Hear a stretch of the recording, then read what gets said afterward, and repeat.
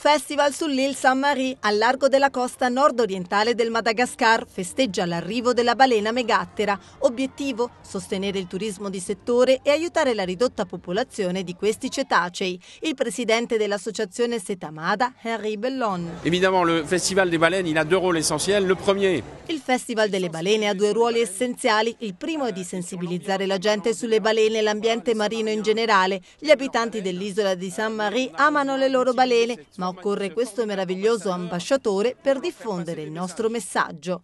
Ogni anno le balene megattere abbandonano il rigido clima antartico per venire qui ad accoppiarsi e partorire. Quest'anno gli abitanti dell'isola hanno voluto dare il benvenuto con canti e balli alla balena, nota per le sue lunghe pinne.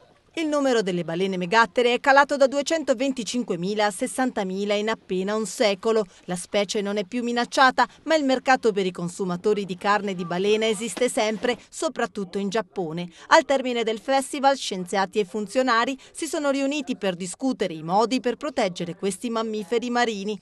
Il ministro dell'ambiente malgascio Ralava Beborimisa. On a discuté avec les congressistes. donc- Abbiamo discusso il tema con i delegati del Congresso mondiale delle balene megattere e si è deciso di coinvolgere la Commissione baleniera internazionale. Occorre un forte impegno da parte dello Stato e si punta a introdurre una legge contro la caccia alle balene in Madagascar.